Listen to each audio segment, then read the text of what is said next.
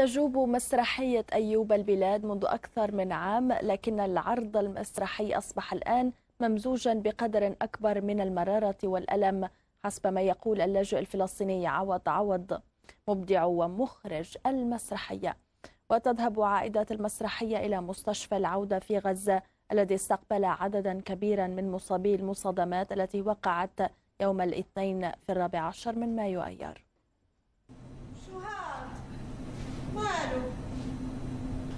كلها كم من يوم صرت كل ما انضف غرفتي الاقي كيس قماش مالك هسا؟ وليش وسعتك هسا وقتك تطول إيه؟ إيش في؟ ارجعي ارجعي إيه؟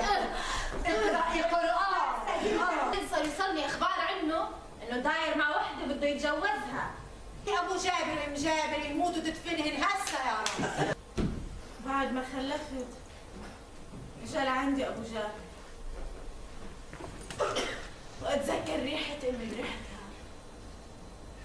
أمي. خلفت من بعد ثمان صبيان. آه بدها تغسلهن ثيابهن بالنهار أربع ساعات يعني بالنهار طلعتها من الدار مستحيلة لها الفلقة والجردون وعمي أبو جابر وعمي أبو جابر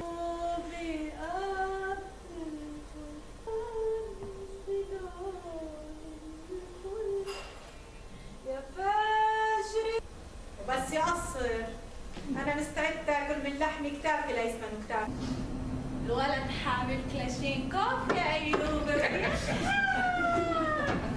ليش على السحور رح ترجعوا تاكلوا الفتة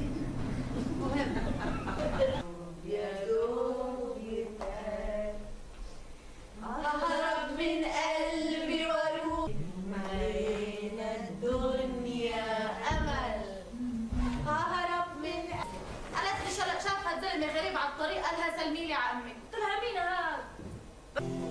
الحمد لله. الحمد لله.